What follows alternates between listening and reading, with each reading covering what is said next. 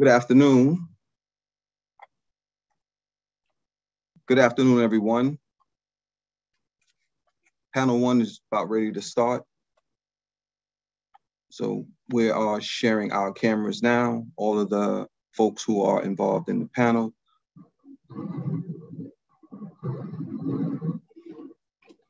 So let's go ahead, unless I hear otherwise, we're gonna go ahead and get started because I know we're at time and I know we are short on time for the panel. So my name is Ronald Day and welcome to panel number one entitled Using Research to Promote the Humanity and Well-Being of Incarcerated Individuals. So I'm going to start with uh, with a couple of comments, and then I'm going to introduce the dynamic panel that we have here today. Start with a couple of quotes. One is the degree of civilization in a society can be judged by entering its prisons by Dostoevsky.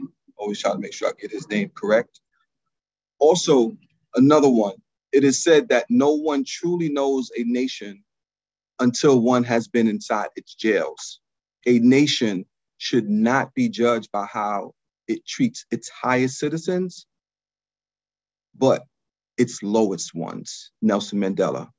As you'll see from my bio, I have a doctorate in criminal justice. I'm a vice president of programs and research at the Fortune Society, and I teach on Rikers and in New York State prisons for Columbia University.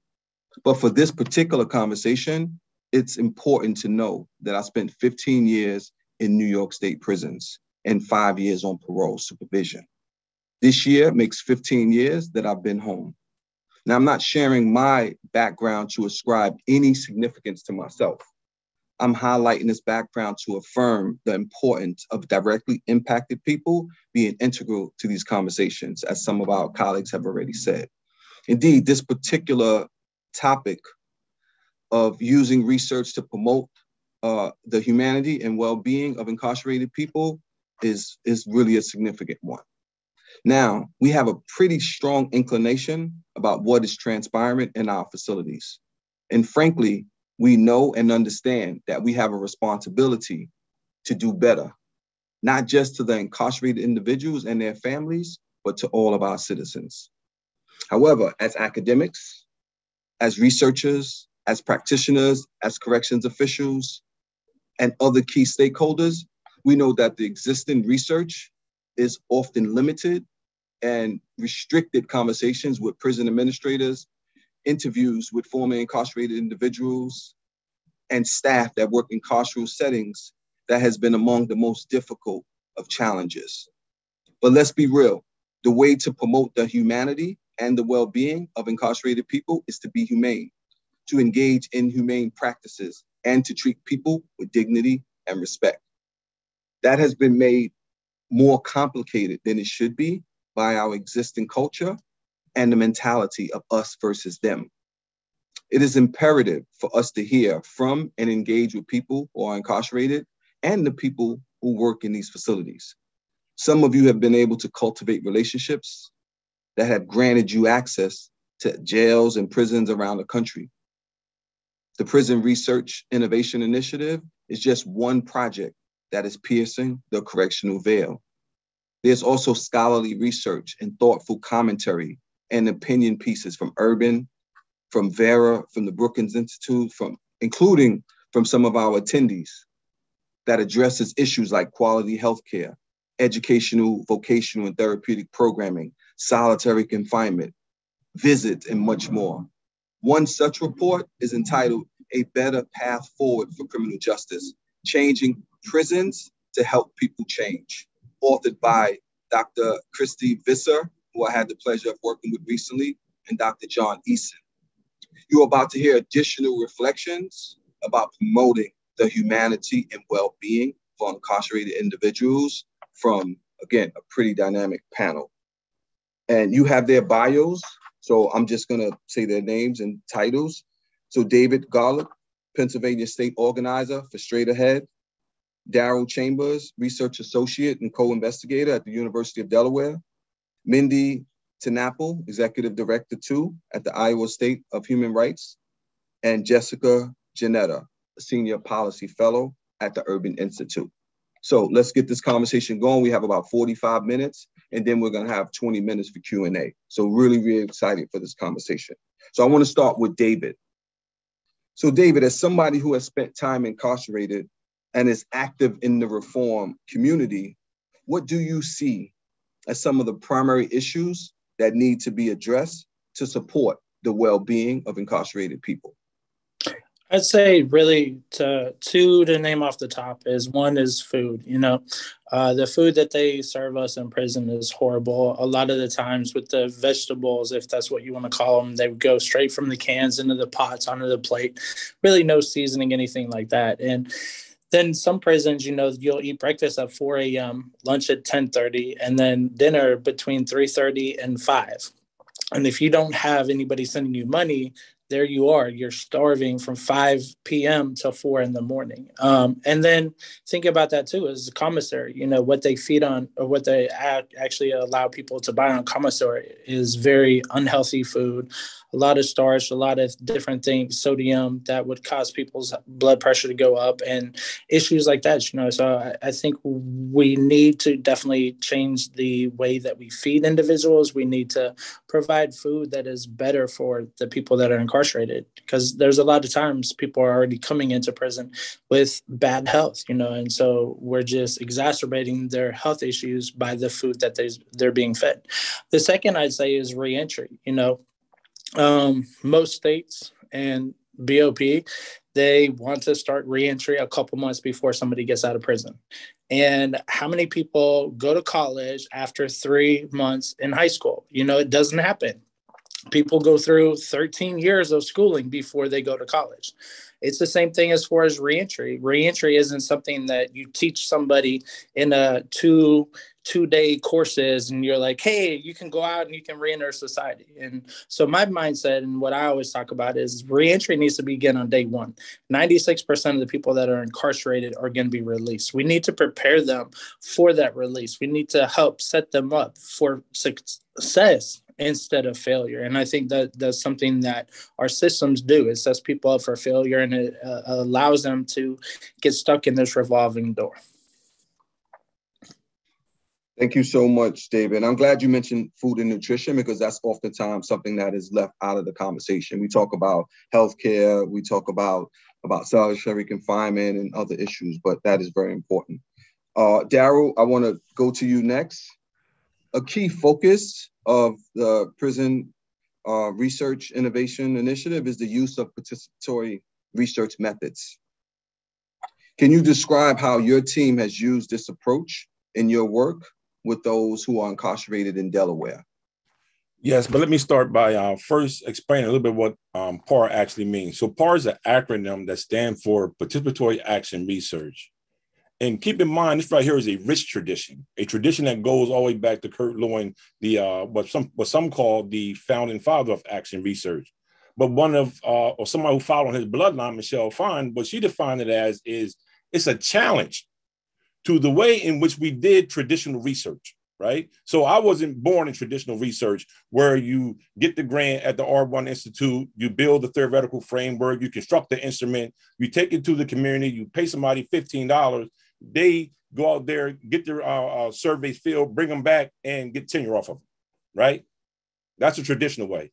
I was born and birthed in the PAR model, right? So I was born under Dr. Yasser Payne, who said that PAR is not only a mean of gathering data, but it's a way to empower the researcher, right? So those marginalized population that we're going to talk about, those who are housed there, right? And it's a way that they control their narrative so that they can legitimize some of the concerns in their respective community.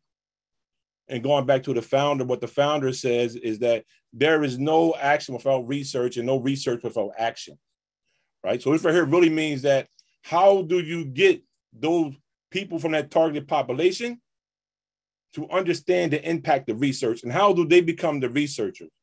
So for me, what is PAR? PAR is a commitment to those participants, to those individuals, to those populations that we are seeking to get knowledge from. And it's a respect for that knowledge of all the participants, because there's a certain knowledge that you do bring from the universities that's not really held by a lot of people from the targeted population. But there's a lot of cultural things inside those populations that we as researchers really need to know about, right? And then there's a mutual understanding. In the words of my mentor, Dr. Yasser Payne, uh, social research plus social activism equal par. So it's the research, but it's also what print is all about those innovations at the end, making those changes. How do we make those or improve those conditions to where these men are being housed at? Right. So, a specific example uh, we really wanted to stay true to the traditional PAR model.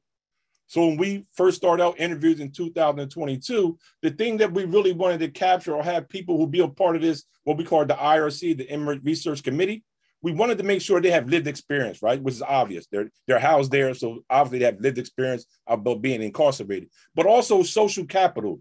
Do they have the trust of the people who later on they're going to be speaking for in sweat equity, right? Do they realize that some of the innovations or the changes that might take part or come from this particular project that they might not benefit from? Right. So right there, we really try to do. And after that, right there, we really wanted to explain to them in a real way the history of PAR.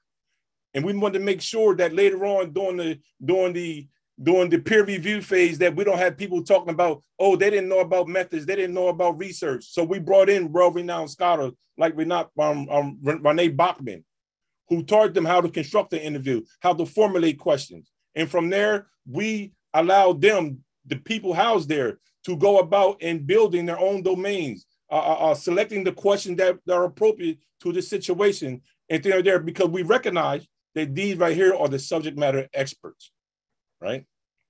And that's what we did. And that's how we employ it.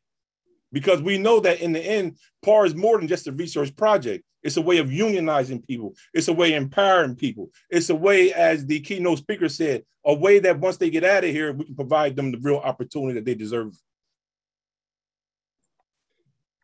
Thank you provide, for providing us that context out. That was very, very important. It reminds me of being in prison and thinking about the non-traditional methods. Uh, guys got there and they start working in law libraries and doing research, and it was like yeah, I wish we had knew this before we came in prison in the first place.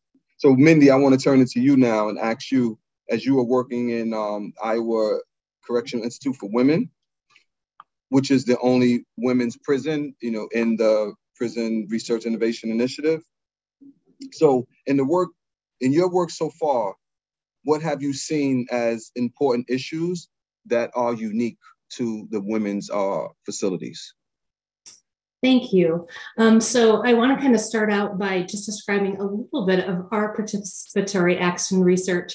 And in our data walks, once we had the surveys delivered, um, we went out to the institution and had the women rate and kind of vote the questions that they thought it was most important for us to elevate with leadership. So we kind of got their top 10 um, subject or questions that they wanted leadership to focus on for areas for change for ICIW. And so I'm going to talk about three of those.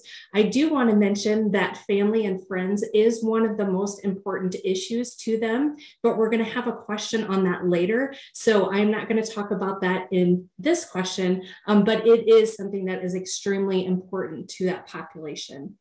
Um, so one of, or the actual top question that was identified by them was this prison should offer activities that promote certification and developing skills. And with that question, 60% strongly agreed and 33% agreed. So 93% of the incarcerated population really felt that education and certifications were one of the most important areas that they wanted to see improvement in. One of the common themes identified, and it kind of goes back to the keynote speaker as well, was to have equal work and apprenticeship um, opportunities as the male institutions do. Um, so, in our male institutions within Iowa, we have welding, we have electrician apprenticeships and jobs, and we don't have those as um, opportunities within ICIW. And the women recognize that sometimes, you know, just the institution itself doesn't have the capability to do that.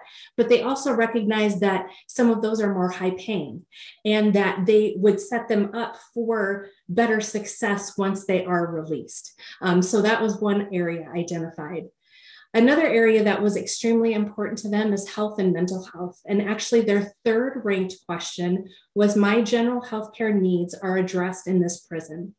7% strongly agreed, 53% agreed, 26% disagreed, and 14% strongly disagreed. So it's a little bit split but some of the themes, um, in addition to um, when we got them to vote on the questions, the other thing we did is a lot of conversations and we gave them post-it notes to comment on each of the questions. So we could not only elevate which questions they thought were important, but also voice their concerns and be able to package them and present them to leadership as well. And one of some of the main comments and themes that we heard here is um, their issues were not taken seriously. Um, they felt that, you know, a lot of times they were maybe just given medication or just told to deal with it. And we know that research has shown that a lot of women experience a lot of trauma prior to their incarceration. So, one of the opportunities that we've identified for future research um, that we want to discuss with our research council in the participatory um, aspect of it is to develop a part of the questionnaire that focuses on prior trauma and how that relates to their current um, kind of stay that they are having and how it uh, plays into their outcomes as well. And then one last area that I wanted to touch on, um, in Iowa, we actually have nine institutions, eight male and one female. And so that kind of poses in and of itself some interesting kind of dynamics. So within the different male institutions, they kind of range from min minimum security to maximum security. Length of stay is different between them. So they focus on different privileges and different priorities within those different institutions. At ICIW, they have the very short term that will be there for six months in relief. They have the life life people that will be there um, for the, the remainder of their life. And so the priorities for each of those groups are very, very different. And so, and they live side by side. So trying to develop a community that helps those short term who are focused on reentry and getting ready to go back into the community right alongside somebody that is more on quality of life and dealing with how they are going to deal with the day to day within the institution um, are very very different. And so iciw has actually they recognize this and they're actually working on solutions to try to merge them and you know kind of make sure that they can address the needs of both of those kind of different groups and all of the in between as well.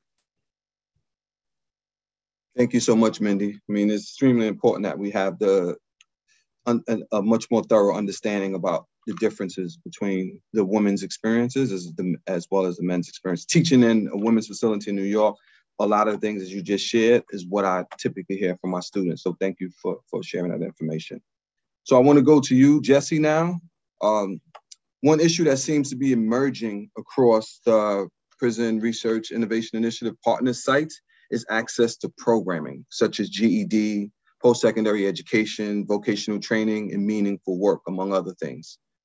You've been working with corrections and reentry organizations for some time now. How have you seen programming influence outcomes of those who are incarcerated?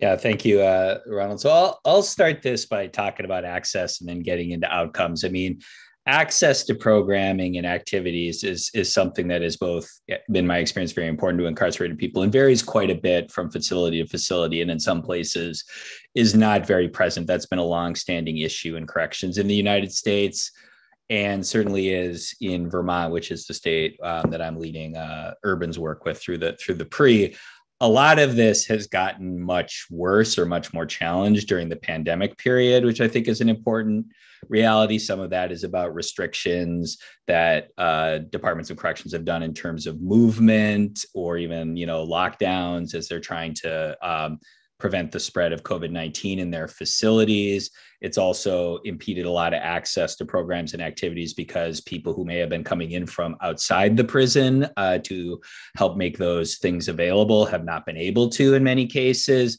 And I think the pretty acute staffing shortages that departments are seeing all around the country, I think is also making programming more difficult. So it's been a particularly difficult recent period in terms of access to prison based programs and activities of all kinds. So I'm here at the Urban Institute, and so I'll speak first about outcomes sort of from the research perspective. And people have looked at that in all kinds of different ways. But I will say there's been a pretty intense focus usually in the research on on prison programs in terms of what happens when people get out now i don't want to minimize that that's obviously very important for people who are preparing uh, for that experience as almost everybody in prison is most specifically there's been a pretty heavy focus on recidivism as the way of understanding how programs are going although there's also sometimes you know been attention to things like whether people are able to secure employment or you know stable housing and things like that. Now you know, the Reverend Nixon mentioned educational programming, employment programming. Those are things that, you know, in the main have been beneficial on those things I'd add to that. Substance abuse treatment uh, for people who need it, uh, cognitive behavioral therapy programming has also been helpful. These are some of the programs that, in terms of what we tend to measure in the research world, have shown benefit. I will say, though positive, there's a lot of mixed in there, which at least to me suggests that there's probably a lot of uh, variation in the quality uh, and appropriateness of, of, that programming. There's also a lot of evidence, although this is often less investigated, that the benefits of programming show up uh, in the prison. This tends to be measured in terms of prison misconduct, which I'm not sure is the best measure of the positivity that programs may be creating in prison, but it's not nothing. And I think we do have um, that evidence. Um, but the last thing, I guess, that I would like to say around thinking about outcomes. So, it's very much on my mind. I was uh, this past weekend in Ann Arbor, and I was, uh, among other things, visiting the annual exhibition of art by Michigan prisoners that they have on the University of Michigan campus every year, uh, organized by the Prison Creative Arts Project, which is the organization through which a long time ago I first got involved in doing work in and around prisons. And it was having me reflect upon the statements by the artists that they collect as part of that exhibition and also the conversations that I've had over the years with people I was working with in writing and theater workshops in prisons. And when they were talking about why those programs and those experiences were meaningful, they would tend to name things like connection that came from it, the opportunity to feel free, the opportunity to be making meaning and involved in work and activities that were meaningful to them, uh, feeling valued, the opportunity to contribute to society through art, uh, contribute wisdom, contribute challenge a lot of times, contribute beauty. And one of the things that I wanted to bring into this space is those things that I have heard over the years from people incarcerated about some of the whether you want to call them outcomes or whatever you want to call them, the values, what was important to them about activities. And I, I think that's important. And particularly one of the things I like about Pri in this conversation is the opportunity to think about those kinds of things that we're trying to create when we're thinking about what people should have access to in prison as they should anywhere else and how we think about the standard by which we say whether or not that is the things they have access to are good and sufficient Thank you, Jesse. And I'm glad you talk about recidivism and, and, and outcomes. And we know as a society that we have a tendency of focusing on recidivism. We were in meetings recently. I remember uh, Jeremy Travis said something that really resonated with me, and it's that we worship at the altar of recidivism. So I'm so happy to see many of us thinking about other ways to measure outcomes of people who have been impacted by the system and be on the lookout for the National Academies is putting out a paper on evaluating success of people who are in prison. That a committee that myself and others were were able to be involved in. So that is something that's going to, I think, be pretty uh, important for this particular conversation. So the next question I have is for you again, Jesse. I wanted to come back to you to talk about uh, a, a, something that you were touching on, and that's uh, the influence of the family members of those who are incarcerated, loved ones in particular, especially children. How has that come up in your work uh, with Iowa? How do the incarcerated people at the women's prison feel about their ability to stay in touch with people on the outside? Thank you. Um, um, so again, that was one of the most elevated things um, that we heard from the population um, was access to their friends and families, and not only for their overall well-being, um, but also for reentry and getting themselves ready to go back into the community. Um, so the second question that they had us highlight with leadership was that more family activities and events should be made available available for incarcerated individuals. And 68% strongly agreed and 27% agreed. So a total of 95% um, thought the focus should be on family and friends. Another thing that we identified um, with the survey and the, the women really helped us to elevate is it is important to have video visits along with in-person visits. And again, here we had 96% agree. And that was actually one of the advantages of COVID.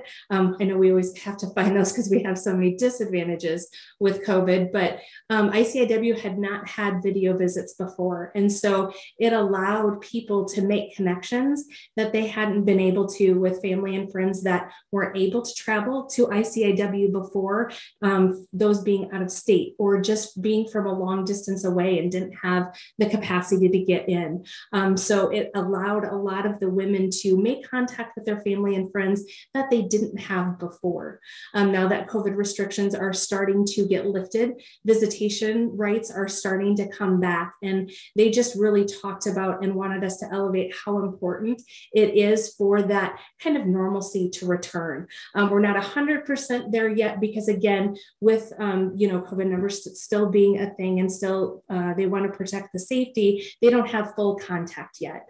Um, but one of the really neat things about ICIW is they put a lot into the design and they did it very women centric in that in the visitation room, there is a playroom, a children's playroom, and there's an outdoor area so that the women can interact with their children um, kind of in that normal environment. So they can start to establish those relationships and have those kind of healthy interactions so that when they go back and return to their family, they already have that foundation built.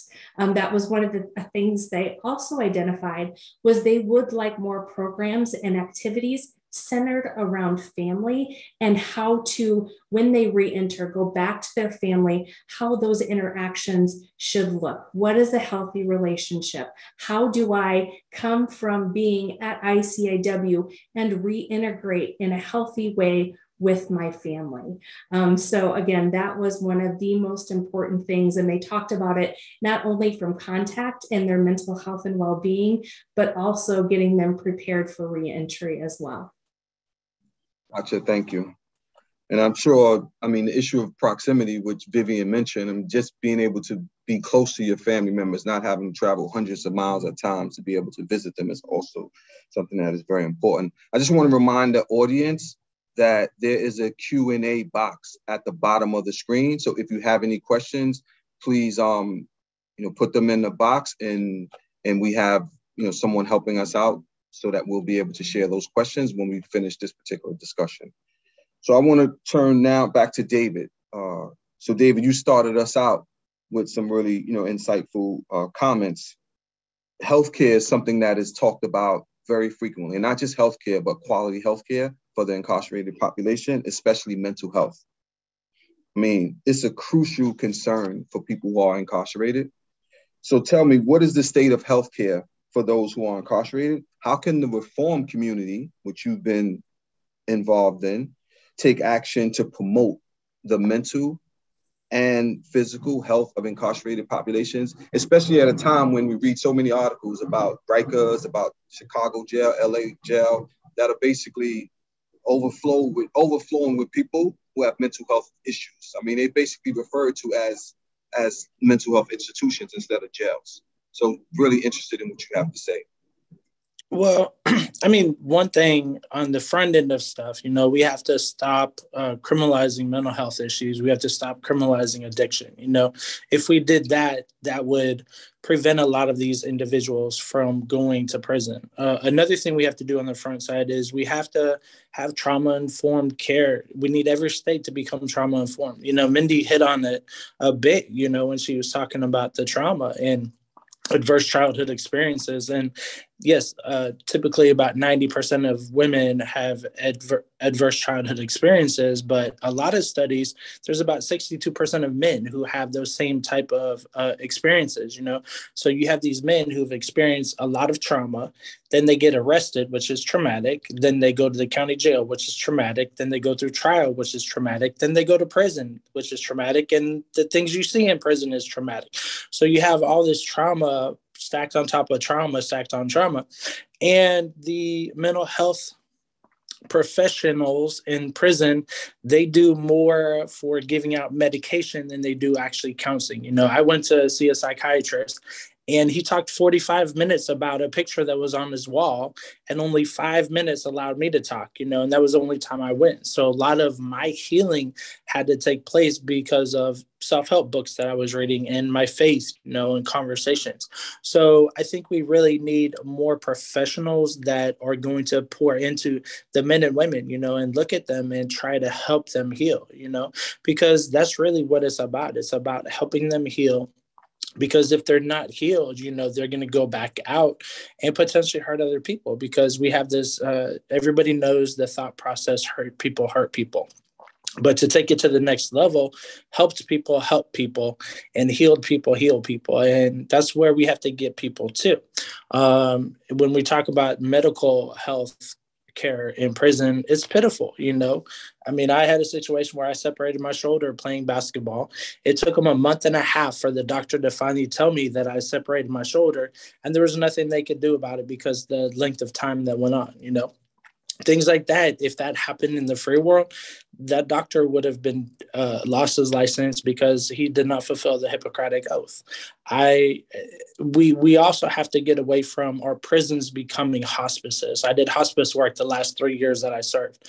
And just seeing these men die in prison that could have easily been released.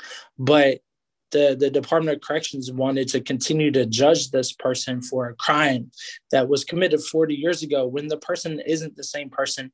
And if somebody's paralyzed and can't do anything for themselves, how are they going to be able to commit another offense? So there's so many elders in our prison that we need to go ahead and release, let them come home to their families and to services that are actually going to provide the medical care that they need.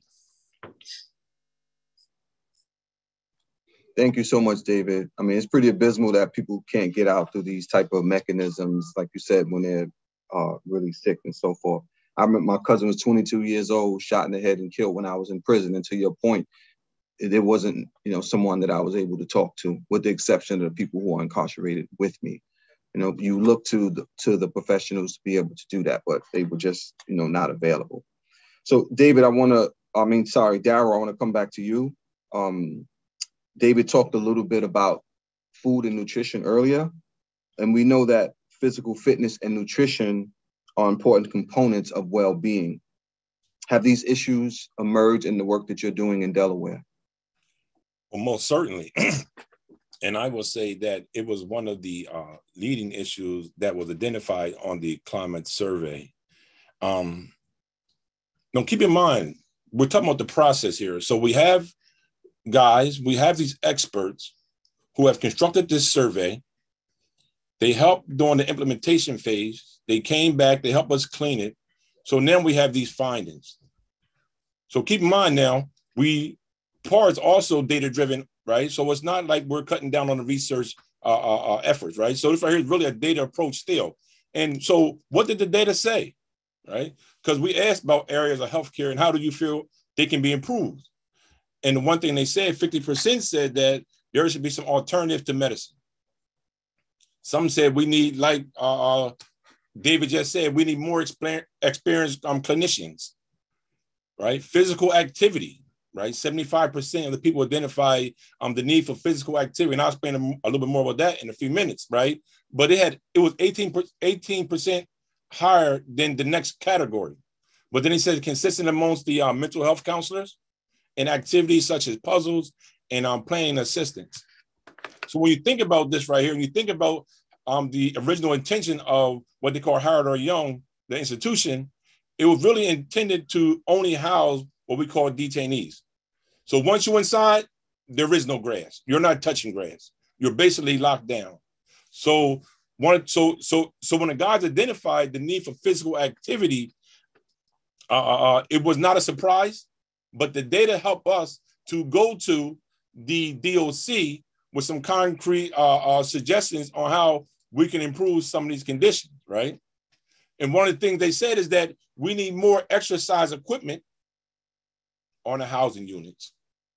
There was a pull-up bar, one or two housing units, had like an elliptical machine or a bike of some sort.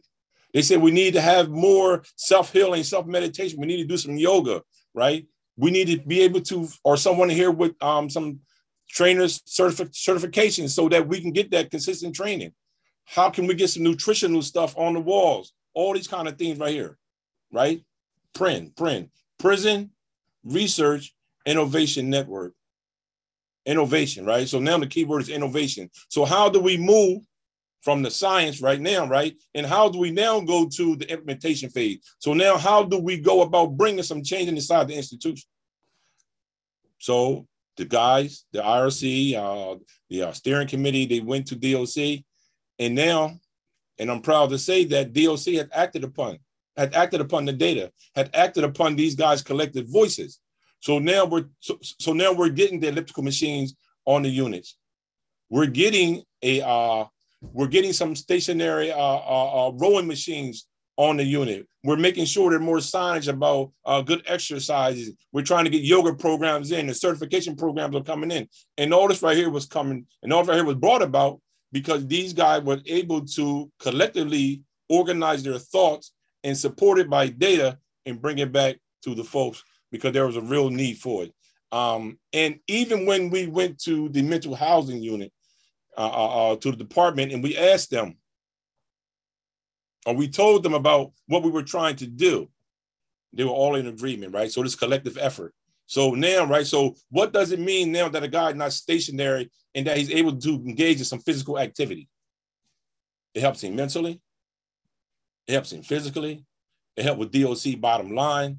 Uh, uh, uh, it'd be interesting to see that once we get some equipment on, like how it impacts infractions or write-ups because now guys have a way of relieving tension. Because right now there's very few ways in which they can actually have any physical activity inside these jails.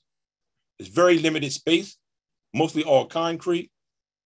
But by but by but by being in the project and what Brent what Prin really brought forth was that there was a need for some more physical movement and some physical equipment on the housing unit, and that was brought about through PEN in the guys' collective voices through uh, the climate survey. Gotcha. Thank you for sharing that. Uh, it's really important to know that. Jesse, I wanted to, to come back to you before we have about maybe 12 or so minutes before we go to audience questions. And again, uh, those of you who are in attendance, please you know, put your questions into the Q&A section so that we can share those in a minute.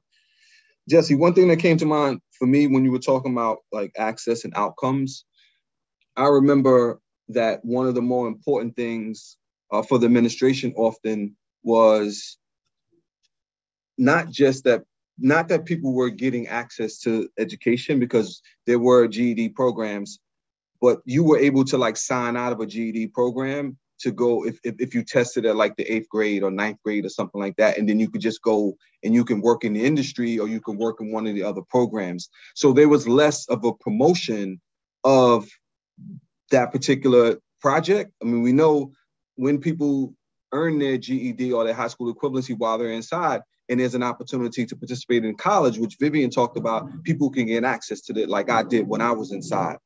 What are your thoughts about that? I mean, do, do you see that happening in the work with Vera, where instead of incentivizing people to finish their general education, their GED or their high school equivalency, people are just like signing out and going to work in other programs where for them it's about putting some money in their pocket so that they can buy something for commissary to a certain extent versus you know trying to finish this up uh, this education so that when i go home i'll be much more it'll be much more likely that i'll be able to secure employment and and and be marketable. What are your thoughts about that? Yeah, so I mean, there's there's one level at which that's a level of specificity that I want to be careful about because I'm not sure how how much I've seen that dynamic specifically, I do think, in terms of what's available, something that I think has driven, if not that specific trade off, trade offs like that is scarcity in opportunity and things that people can do. Like you can work or you can do school, but if you try and do both, there may not be enough of either to make that possible. And obviously, there are only so many hours of the day. And like even, you know, as David was talking about the the meal, you know, schedules and things like that. There's, you know, one of the realities of prison is like the blocks that you can do anything are are also scarcer in a way that you know folks that haven't had that experience it can be hard to like fully understand. But i do i guess my my main thought is in some ways you need more of everything and really to think about like how you can create not a scarcity situation in those things but you know because most people in their growth and development you need multiple opportunities to grow and do things. And if everybody the to the more that people are in a situation where because of time because of waiting lists because of scarcity they have to make those choices. I mean in some ways because you know like work you know depending on what it is can also be really beneficial too. And I, I think that you know as much as possible we shouldn't put people in situations if we can avoid it where they can only do one mm-hmm. thing or you know another one like to bring in the visitation. I mean our our, our schedule set up so that doing productive activity of various kinds are in conflict with being available for visitation or family connection? Like can we create a situation where people can do not just a thing but multiple things which again is i think you know certainly in my experience you know like i you, everybody has to make choices like that to some degree but i think you know i had the benefit and i think you know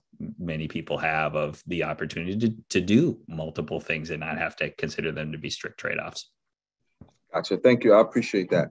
We're going to move to um, a couple of minutes ahead of time. I think it's important to get audience perspective uh, in the conversation. So I'm going to go first uh, to Mindi. There's a question that came in for you. It says, um, you mentioned about the family aspect present in the women's results. But could you talk more about how a gender responsive approach is not only important, but necessary in having this particular discussion? I think that's a really powerful question.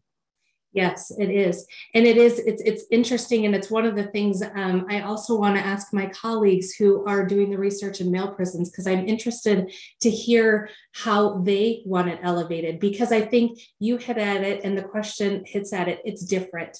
You know, women's interactions with their family is very different than male interactions with their family. And not that any one is more important than the other, but I think just fundamentally they are different in, in the healing process process in the interaction process and how they can move forward and i think that's part of the gender responsiveness is recognizing that and making programs and structure that really accommodates that.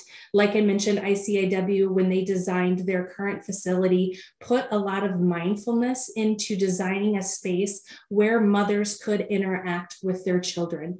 Again, start to develop those healthy relationships while they still are incarcerated. And we, you know, heard so much of the women elevating how important that was, not only to their mental health, but also to their reentry process to have that contact in a structured environment um, so that they, you know, a lot of them had fear of going back to their family and and not knowing how to act around you know their children and their their loved ones. And having that ability to do that in a structured environment and to receive feedback on those interactions was extremely valuable to them. Um, so and i know iciw is working very hard to get back to that um, after covid after those restrictions are getting eased um, to to redeveloping um, those interactions um, because they have not been for almost a couple years. And so um, everybody, the women and ICIW realize the importance of that and they are moving back towards that again. Thank you. Appreciate that, that, that, that comment, Mindi. Uh, David, a question for you. And it really is about how how did you come to this place where having been justice system involved yourself, you end up uh, being like a fierce advocate And I say that, you know, reading this question and thinking about a lot of the people that I talk to that are in the jails and in the prisons, and the last thing that they want to do is to go back into a jail, to go back into a prison, and to have any real interaction with folks who, you know, in this particular space where they're advocating. So it's it's it's, it's sometimes a, a difficult mantle to have to pick up. So I'm curious about, you know, how you got into this and and what allows you to be as you know as motivated as you have been. Well, I mean, I'm a client of Bryan Stevenson, and so one of his famous famous quotes is "You're not as bad as worse than you've ever done." So, I mean, having him as a, a, lawyer, and then just hearing that all the time, reading his book and stuff like that. And when I went to college after I got out, I, I was able to attend college nine months after I was out of prison, and my goal was to open up a home for kids and t- teens to get them off the streets, you know, but God had other plans and then put me in the criminal justice major and studying that, you know, and I've always been somebody who always wanted to help people, you know, and so who better to help than the people that have been left behind, you know, and so that's what my passion is, you know, I do a lot of work around, uh, about reentry. I do work around prison education. I do work uh, the work I'm doing in Pennsylvania, we're working to abolish life without parole and create parole eligibility for elders and geriatric. And also, I do a lot of work around the sexual offender registry and working to abolish that. So, um, in all of this, you know, it's just my passion to, to look at these men and women, you know, and a lot of times they're marginalized, they're left behind, you know, at times they don't have family there fighting for them. So, we in this work we're their surrogate family members you know we're there we're the people to give them hope to give them encouragement you know and 96% of the people that are in prison right now are going to be released you know and i want to help pave the way so they have that path when they get out that they can follow it to stay out you know i don't want somebody just to survive when they get out I want them to thrive. I want them to be the best version of themselves. You know, uh, uh, the the story that they had when they went to prison is something that they get to put a period on and write the next chapter you know and i want to give them the, the resources to write the best chapter ever. Uh, like i want it to be like stephen king-esque where everybody's like wow you know that person was formerly incarcerated. There's no way i would have never guessed it you know? And it's just about changing that narrative you know and as, as everybody's been talking about you know how do we do that? We get proximate. We go back. We have these conversations. We help them. We allow those people on the inside to see that there are people like us who have been incarcerated but are out here who are thriving, who are successful, who have families, who have kids, and that's what they want. That's what they're dreaming for, and we're going to allow them to dream again and to have hope. Thank you, David. Uh, appreciate that. And this reminds me of you know, I think about we often hear that you know you put things behind you you know in, in order to be able to move forward. I remember reading a i think it was a native american proverb that talked about how we need to keep things in front of us and not forget where we've come from in order to be able to um to continue to make progress. And vivian talked about this how we're having this discussion now about actually going backwards with some of the reform. Uh Darryl i see your hand up. You want to comment and i have a question for you as well yes um I want to comment, but um,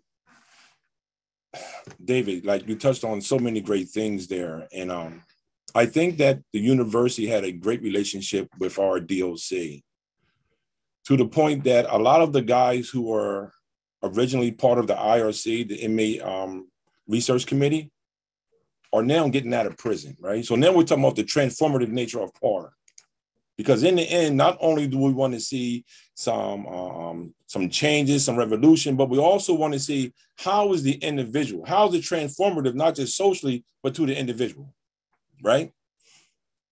So what happens in real time? You know so we take them through this process we think about research we tell them about uh, uh, uh, uh, there is a life after jail and all this stuff right here. But in real time this is what they're doing in delaware now. We got guys going to the halfway house we got guys on original team who now are out, and we set them up so now that that skills that they learn inside the prison, they're getting twenty five dollars an hour with full benefits. So now, right, they're making that livable wage that they talk about all the time. And these guys are some of the strongest advocates, David. They're some of the strongest people out there who are telling the story. And not only that, right there, they're actually controlling their narrative, right? So they're informing the policy, the practice, and the program, right? So no longer can we allow the people who are sitting in these ivory towers who have who don't live within proximity of some of these phenomena they want to study be the sole scholarship behind the policy, the practice, and the program to be implemented. Now we got two more guys that should be released soon, and we got jobs lined up for them. I'm talking about real-time stuff. So, and I'm telling you, and this right here is a collaborative effort still between the guys that are in DOC and grassroots communities to where we're making these opportunities available. And that right there is something that is just something that just happened out of the experience of uh, working with the DOC um, on, on this project. It's wonderful to hear that people who are transitioning from the facilities are going home to gainful employment opportunities and that it has something to do with the initiatives that they were involved in on the out and on the inside. Because you hear so often people that are involved in projects inside there's no connection at all to the success if they have it that ends up coming to them on the outside. So thank you for sharing. I have a question for you too that i think is is a pretty wise one. So it says how are biases monitored and addressed throughout PAR's research design, process, and outcome. And typically, uh, knowing that typically the researcher is dealing with their own biases. So, sure, you have something interesting to say about that.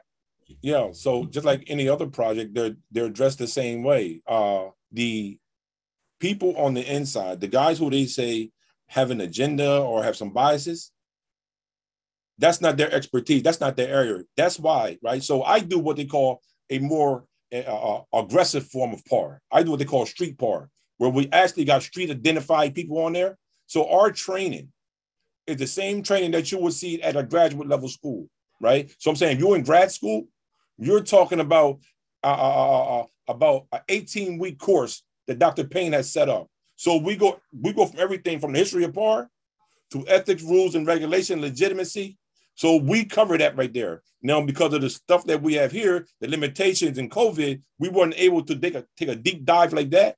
But ordinarily, all those topics right there are covered, right? Recognizing biases, right? Right? How to overcome them, recognizing that there is bias in every research project, right? You can't get around that. You see what I'm saying?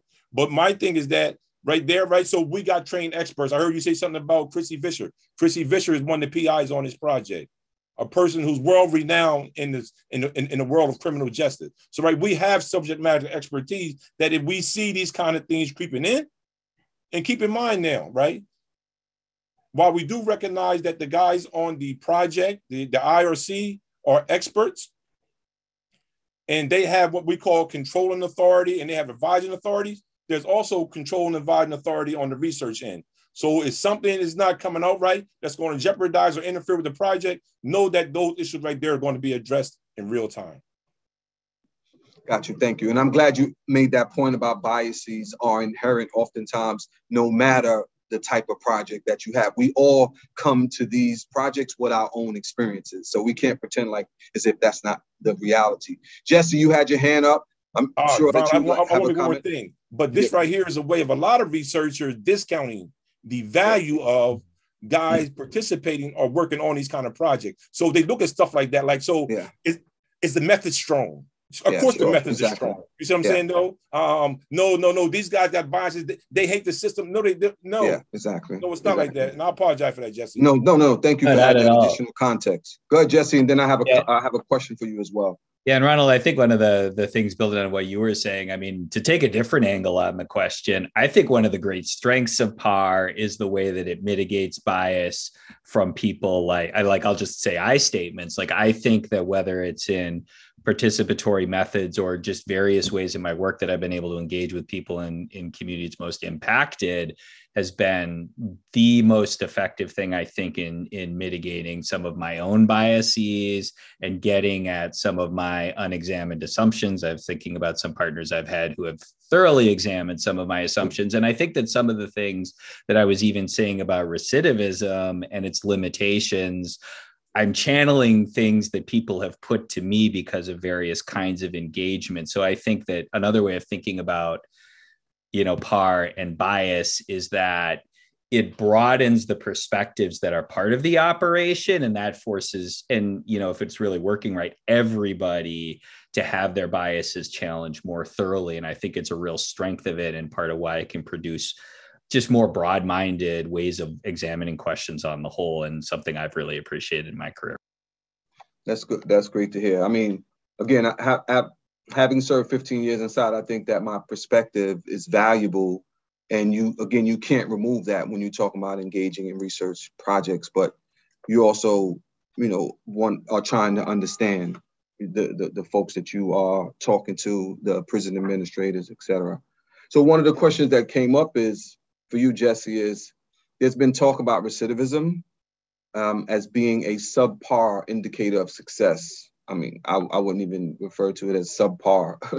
what should we be doing to understand success in reentry? And I say that as someone who I mentioned earlier was on the National Academies of Science evaluating success of people who've been in prison uh, committee and looking for, again, that report will be coming out, but definitely looking forward to hearing what you have to say about some alternative measures to how we can uh, measure success for people who have been inside. Sure. So I'll, I'll say uh, a couple of different things. I mean, one is this is both and. I mean, we are talking about like in all the different things we're saying, incredibly complex phenomena and complex lives like we all have. So you need to look at it in multiple different ways to really understand what's going on. And it's not that recidivism is is irrelevant, but also to say, so first of all, to pull it into the pre-context, one of the things that I think I appreciate as a as a different angle that PRII has is it's about conditions in prison. And one of the ways you might think about limits of recidivism there. So say you've got somebody who is not going to come out of prison for 10 years or more.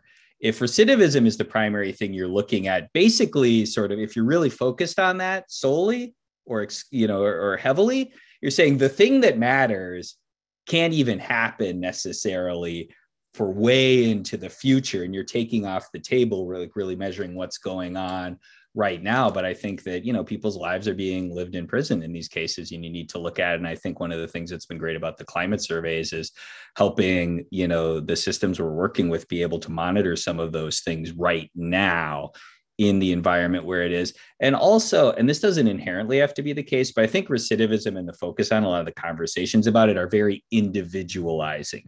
It's making it really about individual people and what they're doing and kind of putting success or failure on them. And if I can touch on some of the questions about collateral consequences I've seen in the Q&A, a lot of things when you think about how many different difficulties the law and systems put in the way of people. I think having other things, you know, to a degree, whether somebody's got employment or stable housing is, you know, I mean, it says often something about their own individual success, but a lot of that is structural. A lot of that you could say this is really about system and government and law and the failure of people to be able to get employment, the failure of people to be able to access housing that's stable that's a societal failure. And I think adding some of those things does allow you to look at what's going on individually, but also kind of think about as a system, as a society, these broader views. How are we doing? And I think that's one of the values of not centering recidivism too much.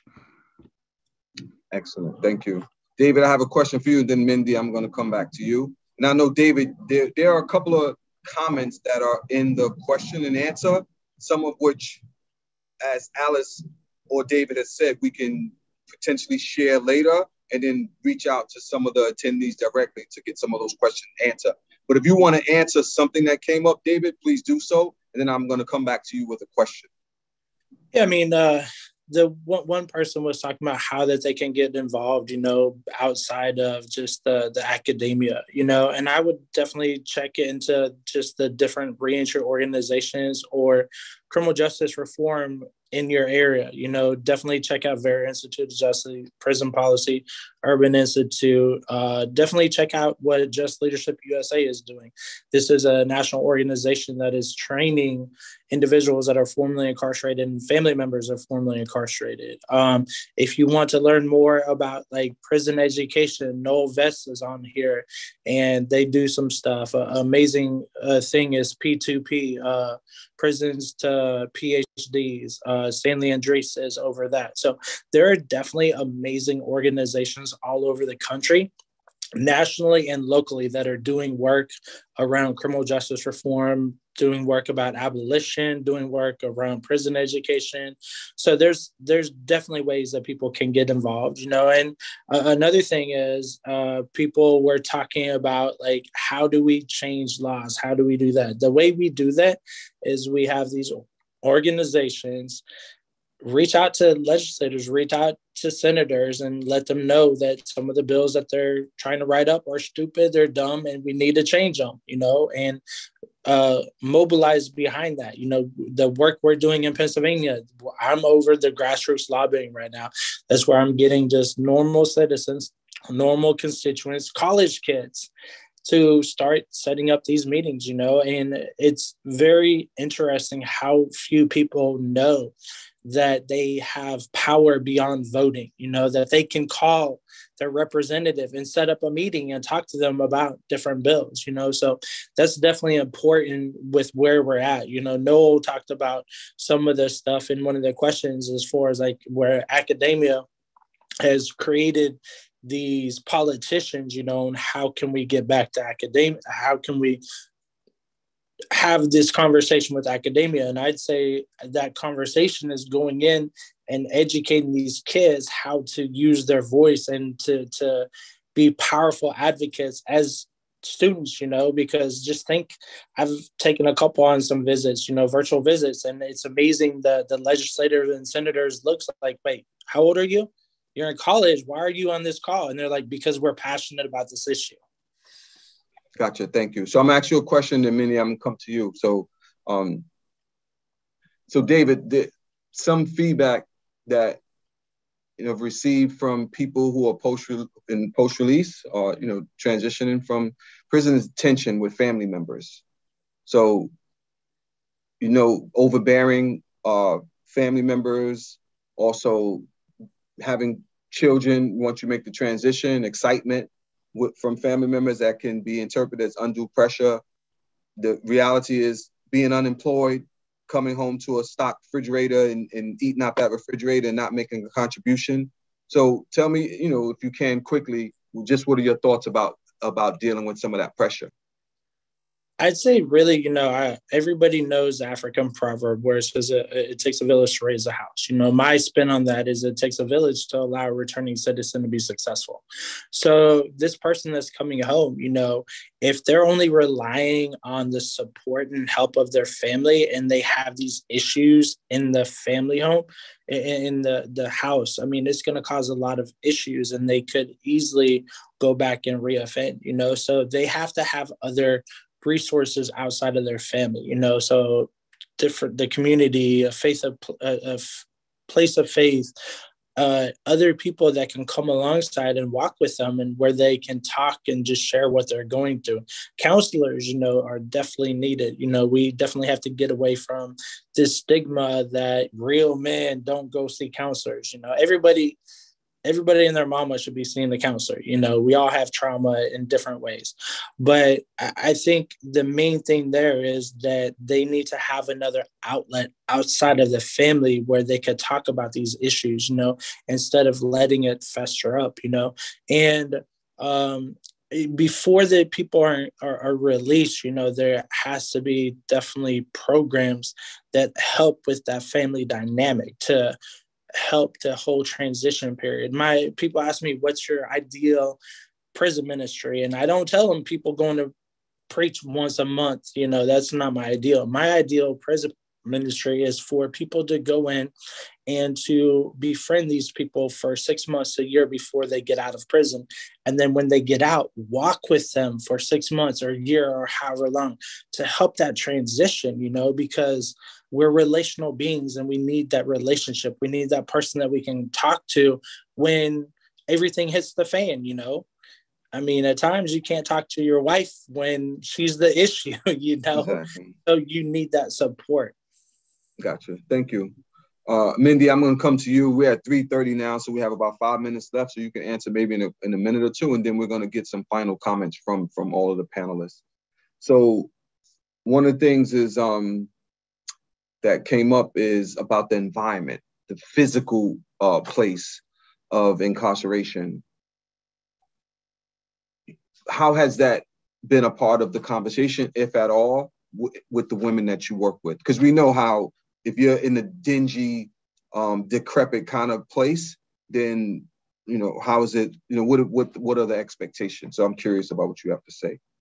Yeah, and like I mentioned, um, ICIW is a, a, newly renovated institution within Iowa. And at the time of the innovations, they were very mindful of that. Um, I heard Darryl speak to the very confined living spaces that their population experiences. When ICIW was built, um, a lot of times even the, the women refer to it as a college campus. So it has a lot of space, it has a lot of um, just open air. And so for them, them and we heard a lot of them talk about how beneficial that is in their overall day-to-day experience and in their overall rehabilitation as well. So the ability to walk outside um, to experience that. And so and like i mentioned that environment visiting room where they can have contact with family and friends. And so that's something that they have raised is extremely important um, in their overall well-being while they are at iciw Thank you so much, um, Mindi. I mean, it's obviously important. Vivian said we're not going, we're not at a place now where we're talking about abolishing all of our jails and prisons. So the least that we can do is make it humane for people who are there. So let's take about about a minute or so. We, we have until 3:35 for everyone. You know, a little less than a minute. So please try to stick to that time because we do want to we want to um, break at 3:35. So um so why don't I start with you, Jesse? Some some kind of uh, closing uh, or final comments? I mean, I think I just want to re-pick up something that David put on the table and that we saw very strongly in the survey results in Vermont, both staff and incarcerated side, and that's just the intensity of the presence of trauma in the populations that people bring to prison that they experience in prison and although we don't know this because we like what this was like non-covid i can only imagine that that's there very prevalently. And I just think looking at that information, just feeling how much work there is to be done to try and mitigate the trauma that people have experienced and are experiencing who are incarcerated and also working in the prisons. That's huge. Gotcha. Thank you. I mean, it's crazy how COVID has turned all of our lives upside down and allow us to think differently. David, it's on you. Final comments. I mean, I, I'm just thankful that you all are here. And the reason that you're here is you're you're interested, you're passionate about the work that we're doing, you know. So if you have questions, reach out to all of us. You know, we're more than willing to, to let you know, to, to partner with us in the work that we're doing. But it, it, takes all of us to get this done. You know, we need all of your help, your assistance, your wisdom, your knowledge. And together, you know, we can change the criminal legal system. I don't call it the criminal justice system because there's no justice to it, you know. So help us change the criminal legal system. And thank you. Thank you, David. Uh, Darryl? Uh, Vivian said something about what makes us safe, and she outlined this thing called opportunity. And why, Mindi, you talked about the limited space, but let me tell you what happened when you have a project such as print. One of the areas that they identified, about the IRC, they said that we need more opportunities, right? More, more training. And one thing they identified, like 77% of them said we need CDL training. So even despite the confined space, when this information was brought to the DOC, now we have two simulators inside DOC to where the guys can actually get this certified train, right? So this right here is the kind of progress that you need because the guys in there, they're not helpless, they're powerless. And once we begin to empower them the way we did through PRII, we'll see the change that you talk about, David. Thank you so much, Darryl. And Mindi, it's on you. Final comments, please. Thank you. I kind of want to reiterate what has been said already. Like Jesse said, and David mentioned as well, all of most of the people that we see are incarcerated have a very traumatic background and instead of looking at the crime that they've committed let's look at what happens to has happened to them and how we can make them better heal give them opportunities to learn, be educated, so that when they return to society, they can contribute and have healed from what they have experienced before they got there. Thank you. And see, we ended on time as we said we would. Thank you, David. Thank you, Darryl, Mindi, and Jesse for a really extraordinary conversation. We appreciate it. In audience, we still have nearly 200 people here, so that's very exciting. So we're going to take a five minute break and then we'll return with the with the with the rest of the uh, conversation. Thank you so much, everyone.